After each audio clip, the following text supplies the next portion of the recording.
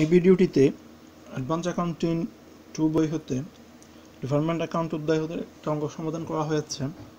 আমাদের department accounts অধ্যায়ে trading and profit and loss account করতে হয়, তার পাশাপাশি ইনকাম স্টেটমেন্ট করতে হয় এবং ব্যালেন্স শিট করতে হয়।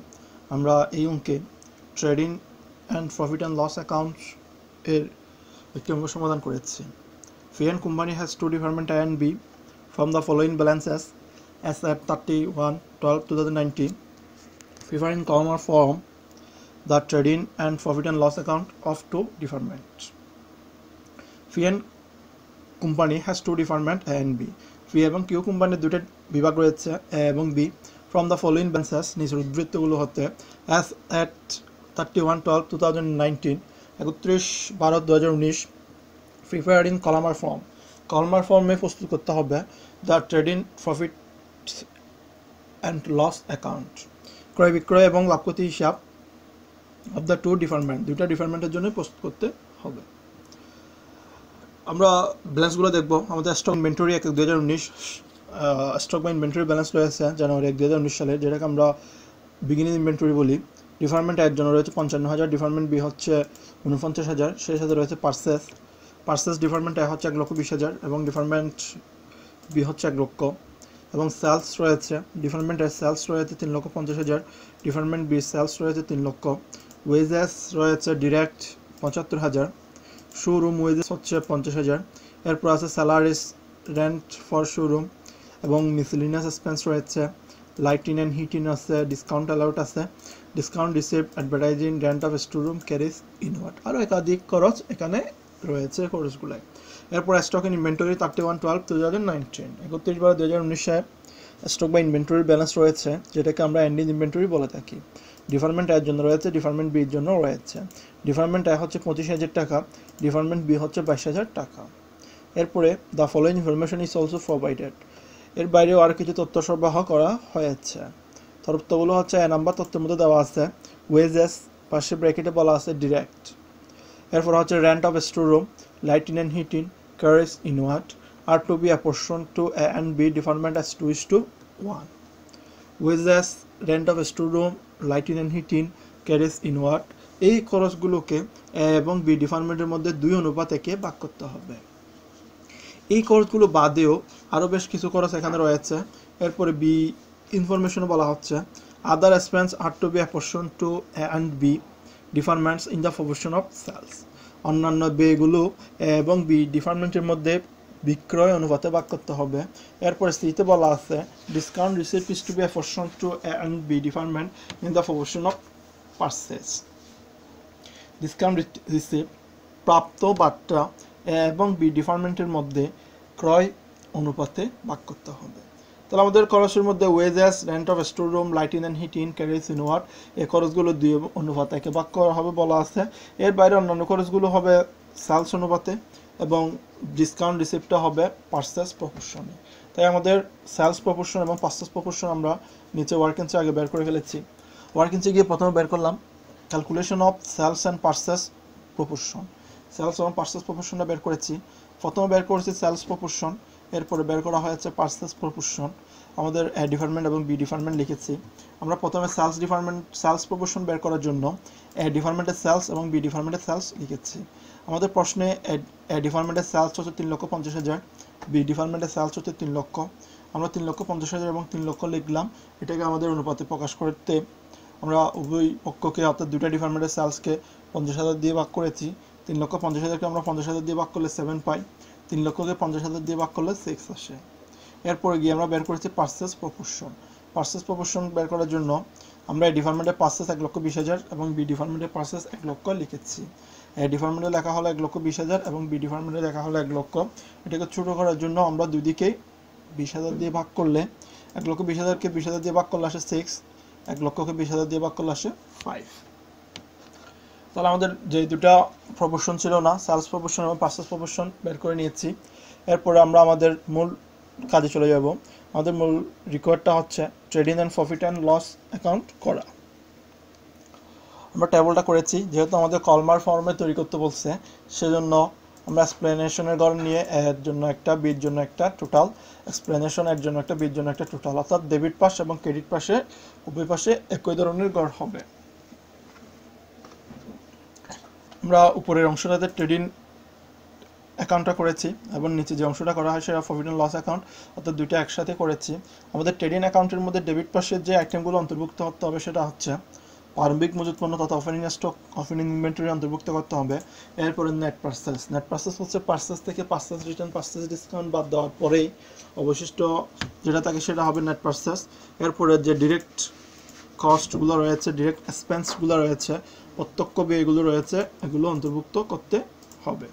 আর ক্রেডিট পাশে দেখাতে হবে সেলস এবং সেলসের পরে দেখাতে হবে আমাদের জন্য এন্ডিন ইনভেন্টরি বা ক্লোজিং স্টক যে নামে থাকে সেটা দেখাতে হবে। তাই আমরা আমাদের অঙ্ক শুরু করলাম। প্রথমে লিখেছি ওপেনিং স্টক আমাদের প্রশ্নেই যে ব্যালেন্স আছে ব্যালেন্স অপেনিং স্টক দেওয়া আছে। আমাদের এ ডিপার্টমেন্টে ওপেনিং স্টক হচ্ছে পঞ্চান্ন হাজার এবং বি ডিপার্টমেন্টে ওপেনিং স্টক হচ্ছে উনপঞ্চাশ হাজার তো আমরা এতে লিখলাম পঞ্চান্ন হাজার বিতে লিখলাম উনপঞ্চাশ হাজার দুইটা যোগ করলাম, দুইটা যোগ করলে আসে এক লক্ষ চার হাজার টোটালের করে এক লক্ষ চার হাজার লিখলাম। এর পরবর্তী করে লিখেছি আমরা পার্সেস আমাদের ব্যালেন্সের মধ্যে পার্সেসের টাকা দেওয়া আছে ডিপার্টমেন্ট এক লক্ষ বিশ হাজার বি ডিপার্টমেন্ট এক লক্ষ।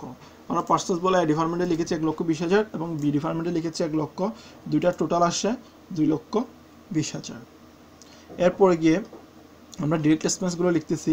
ডিরেক্ট এক্সপেন্সের মধ্যে প্রথমে আসে ওয়েজেস পাশে ব্র্যাকেটে ডিরেক্ট উল্লিখিত আছে। তাহলে ওয়েজেসের টোটাল টাকা হচ্ছে পঁচাত্তর হাজার এবং এখানে এ ডিপার্টমেন্ট বি ডিপার্টমেন্টের জন্য আলাদা করে ভাগ করে দেওয়ার নাই। এই পঁচাত্তর হাজারকে আমাদের ভাগ করার জন্য কোন অনুপাতে ভাগ করবে সেটা উল্লিখিত আছে।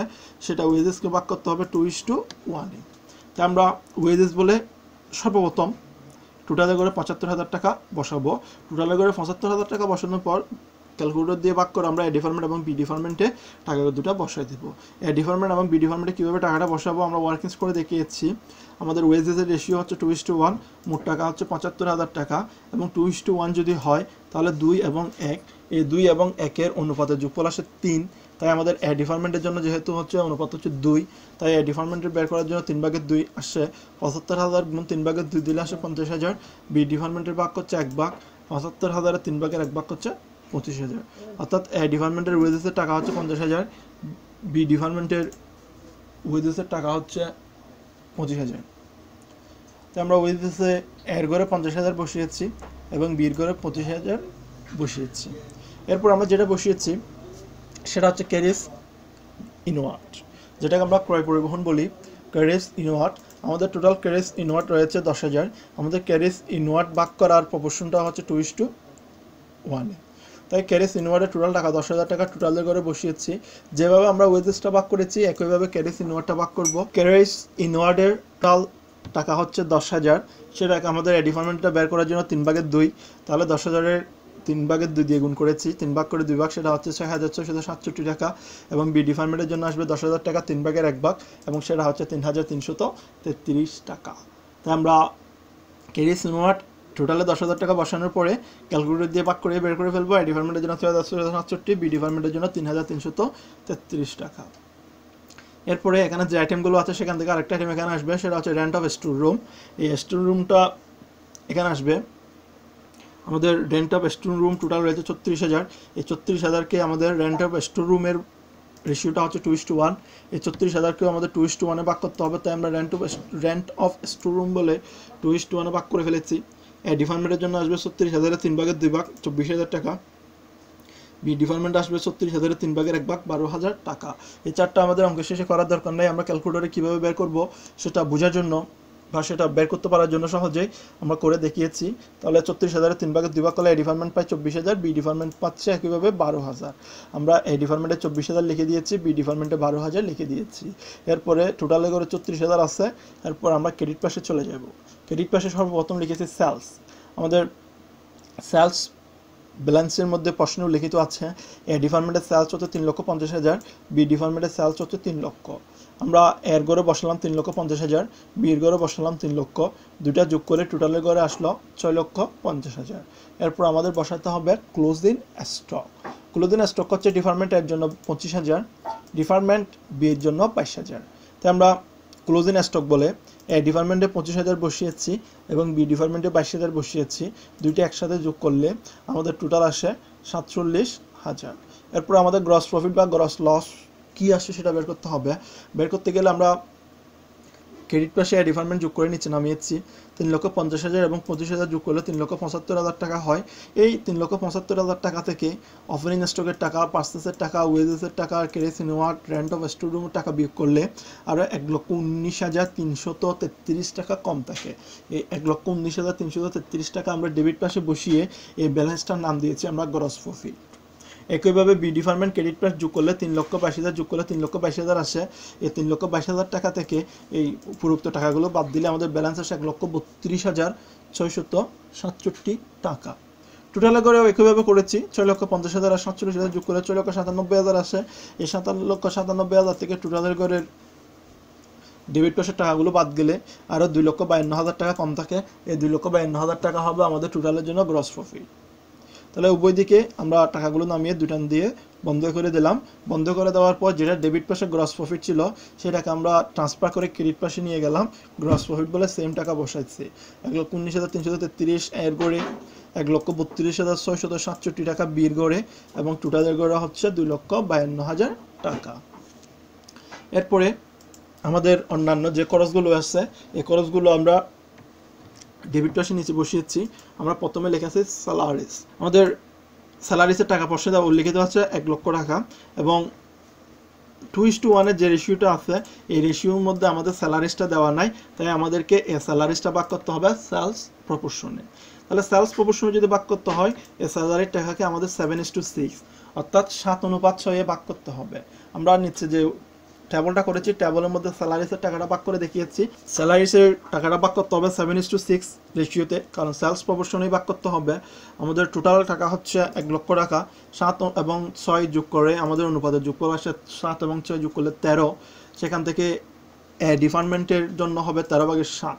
এক লক্ষ টাকারকে তেরো ভাগের সাত দিয়ে গুণ করে আমাদের ডিপার্টমেন্টের স্যালারিসের টাকা আসে তিপ্পান্ন হাজার আটশত ছেচল্লিশ টাকা। একইভাবে এক লক্ষ টাকাকে তেরো ভাগের ছয় দিয়ে গুণ করলে বি ডিপার্টমেন্টের জন্য স্যালারিসের টাকা আসবে ছচল্লিশ হাজার একশত চুয়ান্ন টাকা। আমরা বসিয়ে দিলাম। এ ডিপার্টমেন্টের টাকা হচ্ছে তিপ্পান্ন হাজার আটশো ছেচল্লিশ বি ডিপার্টমেন্ট হচ্ছে চল্লিশ হাজার একশো চুয়ান্ন টোটালে করে রয়েছে এক লক্ষ। আমরা এরপর লিখেছি রেন্ট অফ শোরুম আমাদের প্রশ্নে রেন্ট অফ শোরুম উল্লিখিত আছে ষাট হাজার টাকা। আমাদের রেন্ট অফ শোরুমটা সেলস প্রপোর্শনে ভাগ করতে হবে। আমাদের সেলস প্রপোর্শনটা যেহেতু সেভেন ইস টু সিক্স তাই আমাদের রেন্ট অফ শোরুমটা সেভেন ইস টু সিক্স অনুপাতে ভাগ করে ট্যাবলে দেখিয়েছি। ষাট হাজার টাকাকে তেরো ভাগের সাত দিয়ে গুণ করলে এই ডিপার্টমেন্টের টাকা আসে বত্রিশ হাজার তিনশো আট টাকা এবং তেরো ভাগের ছয় দিয়ে গুণ করলে বি ডিপার্টমেন্টের জন্য টাকা আসে সাতাশ হাজার ছয়শত বিরানব্বই টাকা। তেরো ভাগের সাত দিয়ে এবং তেরো ভাগের ছয় দিয়ে গুণ করার কারণ হচ্ছে সাত এবং ছয়ের অনুপাতে যুগফল তেরো আসে। এই ডিপার্টমেন্টের জন্য হচ্ছে সাত ভাগ বি ডিপার্টমেন্টের জন্য হচ্ছে তেরো ভাগের ছয় ভাগ। তাই আমরা রেন্ট অফ শোরুমের জন্য বসিয়ে দিলাম। এই ডিপার্টমেন্ট হচ্ছে বত্রিশ হাজার তিনশত আট এবং বি ডিপার্টমেন্ট হচ্ছে সাতাশ হাজার ছয়শত বিরানব্বই। টোটালে করে আসে ষাট হাজার। এরপরে বসিয়েছি আমরা শোরুম ওয়েজেস আমাদের শোরুম ওয়েজেসের টোটাল টাকা হচ্ছে পঞ্চাশ হাজার টাকা। আমাদের শোরুম ওয়েজেসটাও সেলস প্রপোর্শনে বাক করতে হবে। কারণ আদার এক্সপেন্সগুলো সেলস প্রপোর্শনে বাক করতে হয়েছে। আমরা নিচে শোরুম ওয়েজেসটা সেলস প্রপোর্শন অর্থাৎ সেভেন এস টু সিক্সে বাক করে দেখিয়েছি। টোটাল টাকা হচ্ছে পঞ্চাশ হাজার। ডিপার্টমেন্টেরটা হয় তেরো ভাগের সাত। তাহলে পঞ্চাশ হাজারকে তেরো ভাগের সাত দিয়ে গুণ করলে এই ডিপার্টমেন্টের জন্য টোটাল টাকা আসে ছাব্বিশ হাজার নশো তেইশ টাকা। এবং বি ডিপার্টমেন্টের টাকা হচ্ছে তেরো ভাগের ছয়। পঞ্চাশ হাজারকে তেরো ভাগের ছয় দিয়ে গুণ করলে অর্থাৎ ছয় দিয়ে গুণ করে তেরো দিয়ে ভাগ করলে আমাদের বিডি ডিপার্টমেন্টের টাকা আসবে তেইশ হাজার সাতাত্তর টাকা। আমরা বসিয়ে দিয়েছি শুরু ওয়েজেস বলে। ডিপার্টমেন্টের জন্য ছাব্বিশ হাজার নশো তেইশ টাকা এবং বি ডিপার্টমেন্টের জন্য তেইশ হাজার সাতাত্তর টাকা। টোটালের করে টোটাল যোগফল পঞ্চাশ হাজার টাকা হয়। এরপর আমরা লিখেছি হিটিং অ্যান্ড লাইটিং আমাদের প্রশ্নে লাইটিং অ্যান্ড হিটিংয়ের জন্য টাকা রয়েছে বিয়াল্লিশ হাজার টাকা এবং আমাদের এ নাম্বার ইনফরমেশনে লাইটিং এবং হিটিংটা টু ইস টু ওয়ানে ভাগ করার কথা ছিল। আমরা হিটিং অ্যান্ড লাইটিংটাকে টু ইস টু ওয়ানে ভাগ করে দেখিয়েছি, তাহলে টু ইস টু ওয়ানে যদি ভাগ করে এই ডিপার্টমেন্টের জন্য বের করতে আমাদের তিন ভাগের দুই দিয়ে গুণ করতে হবে, তাহলে এই ডিপার্টমেন্টের জন্য আড়াইশ হাজার আসে, এবং বি ডিপার্টমেন্টের জন্য বের করতে বিয়াল্লিশ হাজারকে তিন ভাগের এক দিয়ে গুণ করলে বি ডিপার্টমেন্টের জন্য চোদ্দ হাজার টাকা আসে।